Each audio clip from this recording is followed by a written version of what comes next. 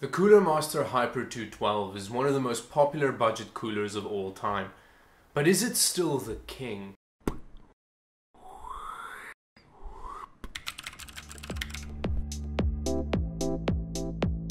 The Cooler Master Hyper 212 has been the most popular cooler to recommend on any PC forum. Whenever you go on a PC forum and somebody posts a video of their shiny new PC that has a stock cooler, everybody will go, oh, it's a beautiful build, but you're still using your stock cooler. Why would you do that? Buy something new. And when the person will ask, well, what do I buy? The first recommendation, and pretty much the only recommendation, always will be the Cooler Master Hyper 212. Is this still the king though? Is this still the best recommendation to give? Is there a contender to the throne? Now in this test today I'll be looking at two coolers. The first one is obviously the Cooler Master 212. Now just to be clear, I am using the 212X and not the Evo. I know that the Evo is the really really popular one, but they're essentially the same cooler except the 212X is like the newer version with a slightly better fan on it. And um, the competing cooler will be the CryoRig H7. Now the CryoRig H7 has gotten amazing reviews across the board, but is it as good as the Cooler Master 212?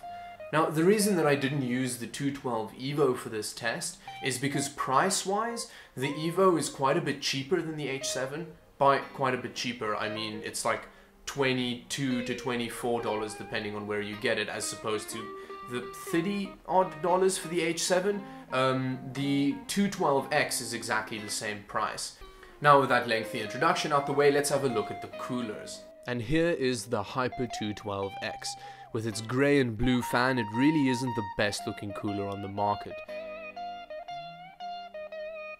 When looking at the top, its kind of plain aluminium face doesn't help much either and it doesn't look great in a build. Here's the mounting hardware, it's got a nice sturdy metal backplate. To be honest, it's really difficult to mount on an AMD system and it was an infuriating process. It's a bit easier on, on Intel systems though. And with that out of the way, let's have a look at the CryoRig H7. And this is the CryoRig H7. With its black on white, it's a good looking cooler that fits in pretty much anywhere. Let's have a look at its mounting hardware. It's really easy to mount on both AMD and Intel systems and it really wins there. This is its backplate installed. It looks fairly sturdy. It is plastic. Now that we've sized the gladiators up individually, let's chuck them into a ring together and scrutinize them closely together. And here first we have the two boxes that the coolers came in to let you know that they both, well, come in boxes. The unpacking experience is pretty good for both the coolers. Mm, with the two standing side by side, you can see the CryoRig is clearly the better looking of the two. With its sleek black and white dress, it'll fit in anywhere. When they stand side by side, you can see the CryoRig is a bit shorter, which means it can fit into those tight spaces. Uh, with it being a bit fatter though, it has a bit more fin weight than the Cooler Master does. Here you look at the actual fin array, whereas the CryoRig is dimpled, which apparently helps airflow, the Cooler Master is just straight fins when looking at the RAM clearance, you can see the Cooler Master isn't very good and the DOM plats didn't fit in the first row. Whereas with the CryoRig, they do, it's got plenty of clearance. Here's just a look of the two coolers in the system, and yes, the Cooler Master kind of takes away from the look, and the CryoRig rig looks great. Now that we've kind of finished our overview of all of the products in question, let's have a look at the actual systems that I tested them in. When looking at the two systems, I just want to again comment on the fact that the CryoRig was easy to mount in both the Intel and AMD systems, where the Cooler Master was an absolute pain to mount on the AMD rig. Now let's have a look at the performance of the Evo versus the H7. Now, the first figures I'm going to be looking at have to do with the actual Intel system, because I don't need to explain them that much. Now I was running a 7600K as you saw at 4.5 gigahertz for the test and I was using AIDA64's system stability test and um, well they performed pretty closely.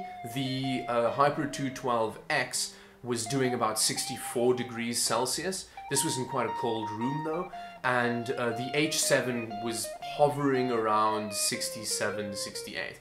So yes, the Cooler Master performed a bit better there. And I have to admit, it was actually quite a bit quieter as well.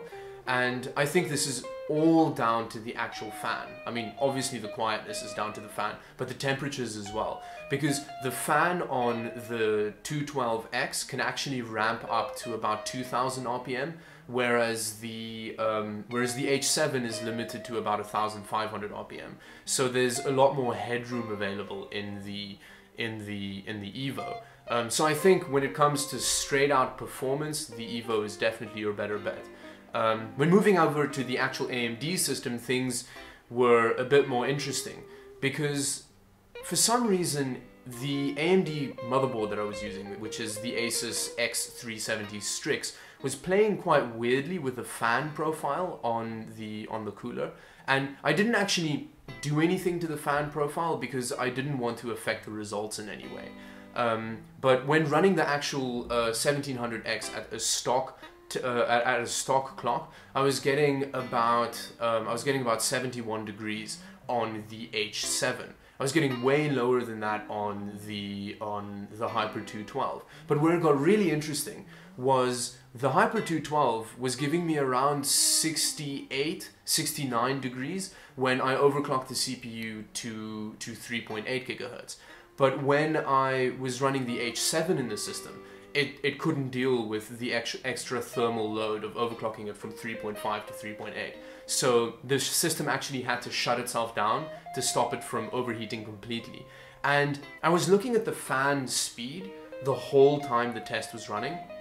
And it was weird because the motherboard wasn't really responding to the increase in temperatures. So the fan speed stayed pretty much the same when it went from 30 degrees up to about 60 then it started ramping it up from 1000 RPM. It started ramping it up a bit.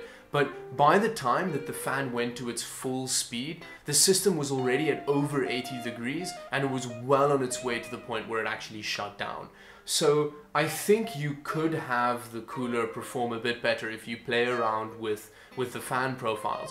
But I didn't want to do that because I wanted to test each of the coolers in its stock configuration. Um, so yeah, the actual TDP of the 1700X at 3.8 gigahertz was just too much for the H7 to handle.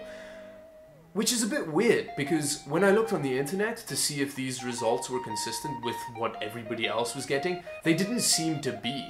Um, it seemed that people were getting different results and that they were having way lower temperatures on their H7. Then, what I did is I took the cooler off and I reseated it, and I was getting the exact same result. I don't know what was going on, to be honest. And um, yeah, so I think when you're looking at actually buying the H7 for a AMD based system, I think that's something to take into account. You're definitely going to have to go into the BIOS and change the fan profiles for that one. But it does mean that the, the, the cooler is going to be louder. Uh, the thing with it being louder though is that the Hyper 212 is definitely a quieter cooler um, where even when the fan is at 2000 RPM as opposed to the 1500 odd RPM of the H7, it's still quieter and you're getting better performance. Um, so on an Intel system, I think there's not much in it between the two coolers, but for an AMD system, you should definitely be careful. And with that, I think it's time for a conclusion. Now, first off, let's talk about the hallowed Cooler Master 212. Now, the thing is, the Cooler Master 212 performs quite well for its price. It's got a really quiet fan and temperatures were fairly decent. Um, it's just a pretty terrible looking cooler to be honest. I know it's down to personal preference, but I just don't like the look of it and it's also a complete pain in the ass to mount on an AMD system. So if you are going the Ryzen direction, just keep that in mind. It's going to be hugely difficult to mount, and you can potentially damage the fins on the cooler. Um, on an Intel system, it's not as much of a problem. Now let's have a look at the H7. The H7 is a great cooler. It looks the part. It really is a great looking cooler and it looks amazing in any system you put it in. Um, it just isn't as good performance-wise as the 212X. The fan is louder and it's not as powerful, so it means that it can't deal with the same thermal thermal load as the as, as the 212X can. And I think it's very close to being able to deal with it, because if you look at the AM Intel test, sorry, not the AMD test, if you look at the Intel tests, their, their performance was fairly close. There was about 3 degrees in it. Um, so yes, I think for an Intel system, you could go for the H7 purely for an aesthetic reason. Um, I mean, I would and actually have. I think when comparing the H7 to the actual 212 EVO, the story is a bit different, but that's not what we're doing here today. Is the 212 EVO still king? I think when it comes from a purely performance perspective, it's doing really well for itself, and I think it actually merits being tested against even more coolers in the future, which is something I'll do. Um, but to be honest, when it comes to the ease of mounting, the looks, I think I'll just go with an H7. And then if you have a bit of money left in the end of the day, I think I'd put a better fan on it, which is something I'm going to do a video on very soon. Anyway, thank you very much for watching. I hope you enjoyed the video. If you did, like, subscribe, and share with your friends. If you didn't like it, subscribe so you can hate on all my videos as they come out. Sounds like a really good idea. Anyway, thank you very much. Bye-bye.